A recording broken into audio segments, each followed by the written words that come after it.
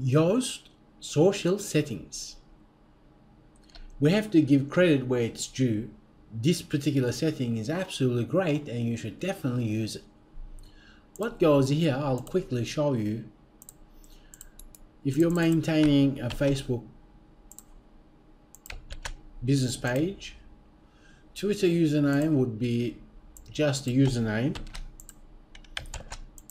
Instagram URL if you're maintaining Instagram account as in profile then you place that detail of the URL in there. Um, Pinterest URL if you're maintaining a URL on Pinterest you can place that in there. YouTube URL if you're maintaining a YouTube channel.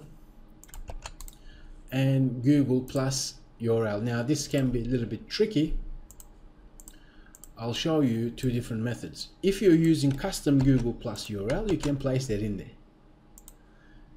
But if you're not using custom Google Plus URL, then you would place your profile ID, which will be different for your account.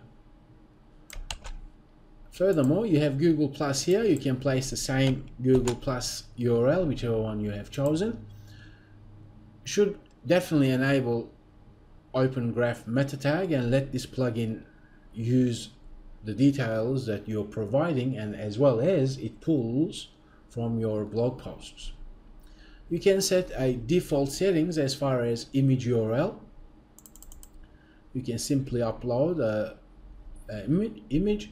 These Facebook Insights and admins, I don't think it's smart to utilize these because Facebook is really improving their platform for Facebook business pages. And let's take a look at if you're maintaining Facebook business page, then the insights should be analyzed on Facebook platform. And Facebook app ID, if you do maintain an app with Facebook, then you can simply grab the app ID and place it there. That's for the app ID. Let's save changes here let's press on Twitter. You definitely need to enable Twitter card. You can select summary or summary with large image. If you're utilizing large images, then perhaps it's smart to use summary with large images. Let's take a look at what we mean. That means if you're creating a blog post and using featured images, then that's great. Select summary with large images. If not, select just summary. Let's select summary with large images. Pinterest, it says here, Pinterest settings. Pinterest confirmation. Let's log into our Pinterest account. We have this gear icon. Let's press on that. And here you can place the website URL of yours and confirm website. And Pinterest will end up generating this meta tag for you.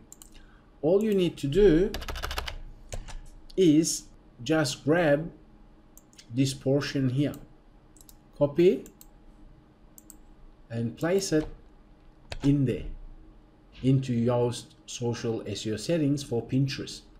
Save changes. Now basically we've provided all the details to our social accounts. We enable Twitter card metadata. And we've also enabled Open Graph metadata. We've placed some information here. At the end of the day, when we do that, Yoast SEO plugin social settings will add certain information in the source code. If I press on Ctrl U on my keyboard, all this up to here is open graph metadata. As you can see, OG stands for Open Graph. So as you can see, it's actually doing a great job with Open Graph as well as Twitter cards as well, pulling all that data from your social um, settings in Yoast plugin. So that's what these settings are all about.